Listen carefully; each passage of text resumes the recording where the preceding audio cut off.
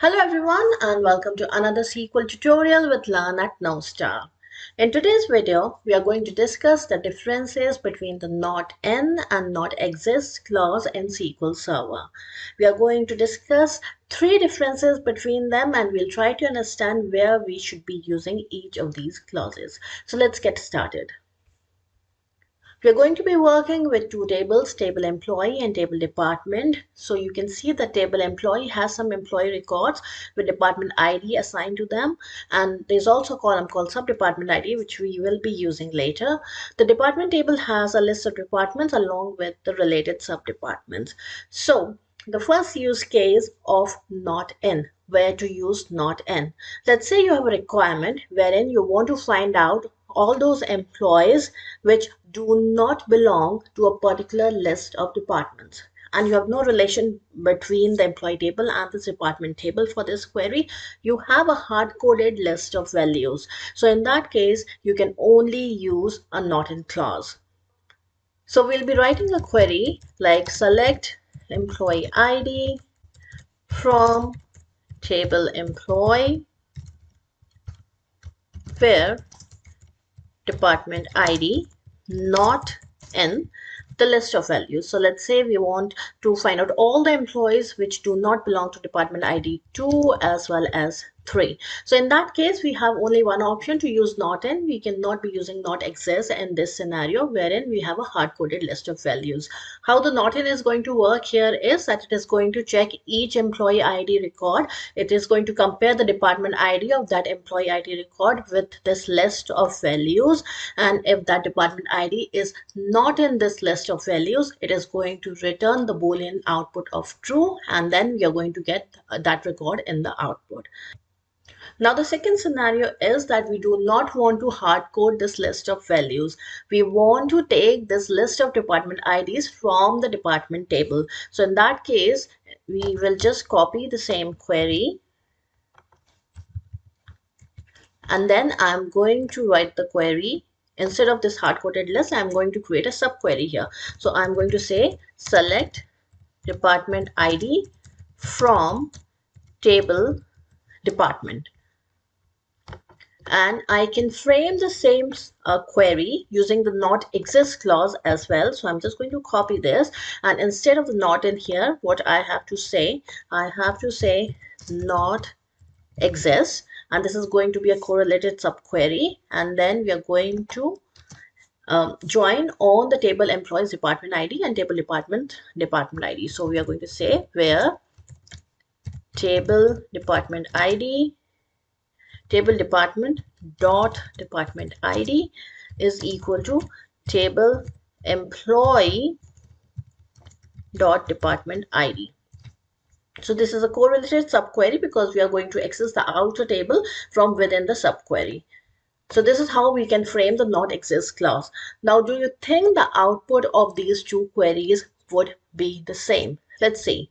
So I'm going to execute the not in query first. Let's first go back and look at the data in the query.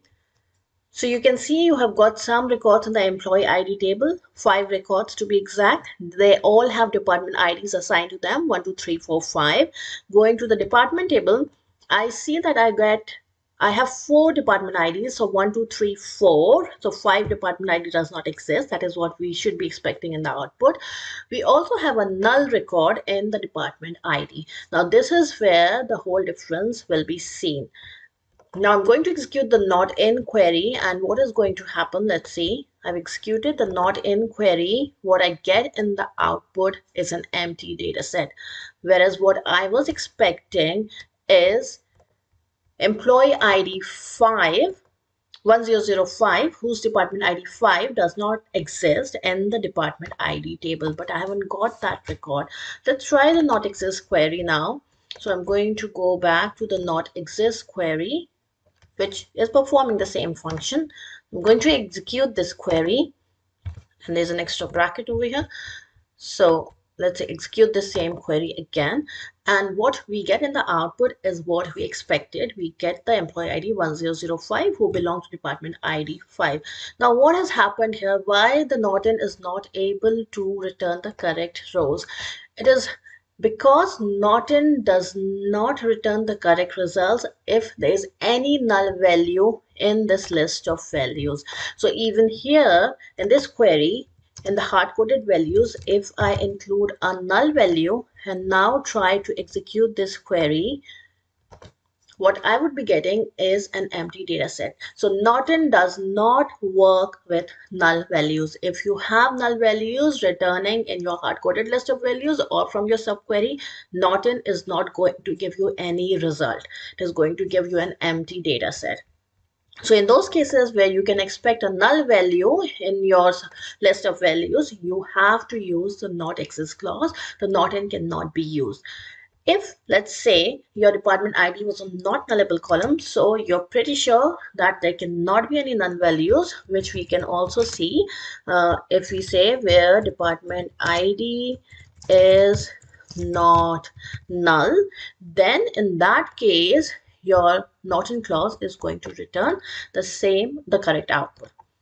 Okay so it is going to uh, return 1005 because it can work if the list of values does not contain any null value. So you have to be careful when you use not in in these cases.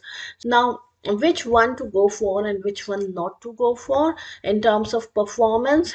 So if we try to see the execution plan um, it will be pretty similar i think so I'm just going to select this query and I'm going to say uh, display the execution plan. So this is execution plan.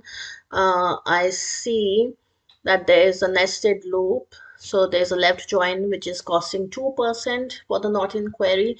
There's a 47% table scan for table employee, 52% cost of table scan for table department. So now I'm going to select this query and I'm going to display the estimated plan for this one which is a different kind of plan but the cost is almost the same. So performance wise they look to be having the same cost. Uh, maybe there will be a difference when the volume is huge because we are working with very limited data. So maybe when the performance is huge you might see a difference over here. But your sure shot indicator is that when you're expecting null values you have to go for not exist. Or be very careful and specify this condition in your not in clause. So this is the second scenario where you have you can decide whether to use not in or not exist based on what kind of data you have. Now the third scenario is let's go back to our data. So we also have one more column called sub department id over here. So now what i want is that i want all those employees whose either whose department id so i want to check on the uh, combination of department id and sub department ids whose this combination of department id and sub department id does not exist in the department table. So now we are checking on two columns so multiple columns. In those scenarios there's no way to frame a, a not in query because not in will only check on one particular column. But you can go ahead and frame a not exist query. So what you can do over here is include include another condition where you will say table dot table department dot sub department id is equal to table employee dot sub department id so now it is going to check on the combination of department id and sub department id columns and it is going to output all those records which do not have the same combination existing in the department id column. Department table. So you can see there are three uh, records 1002 3 and 5 if we go back we see 1002 is 2 and x whereas the combination is expected to be 2 and a. So that is what has been output. For 1003 it is 3 and a whereas the combination of department table is 3 and b. And 5 does not exist altogether in the department table so that record has been output as well. So when you want to check on multiple columns then again you need to go for the not exist clause so these are the three scenarios which uh, in which you should know whether to use not in or the not exist. I hope that you found this video useful. If you want to uh, view videos on further topics please do post them in the comment section below. And if you like our videos then please do subscribe to our youtube channel. We'll be posting many more videos soon. Thanks a lot for watching